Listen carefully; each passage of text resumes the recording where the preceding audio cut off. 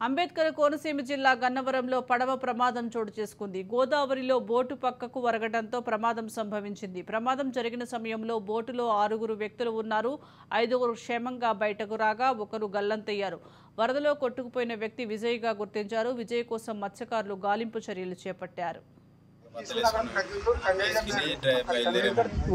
లెక్క వచ్చిన తర్వాత సుడి తిరిగి తిరగబడుతుంది వీళ్ళందరూ వన్ సైడ్ అయిపోతాం వాటర్ ఎంతమంది వెళ్ళారు? ఎంతమంది? నాతో ఆరుగురు.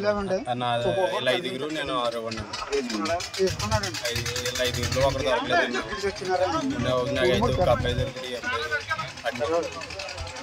నైట్ వేసారు కదా సార్ ఉడి తిప్పుతున్నాయి కదా. ఒంట్లో వెళ్ళిందండి. ఒంటకి వెళ్ళగానే తిప్పేసి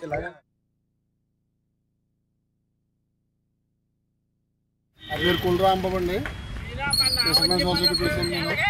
మాది ఇక్కడ నావలు తిరుగుతున్నాయి మూడు మూడు రేవులు అయితే. నాటు నావ ఒకటిని ఇంజిన్ బోట్ ఒకటిని పెదపూడిలో నాలుగు బోట్ల దాకా తిరుగుతున్నాయండి. ఆ లంక గ్రామస్తులకి వాటర్ ప్యాకెట్ అట్టుకెళ్ళే సమయంలో లోడ్ ఎక్కువ అవటం వల్ల ఆ బోటు ములిగిపోవడం జరిగిందండి. అందులో ఆరుగురు ఉన్నారు.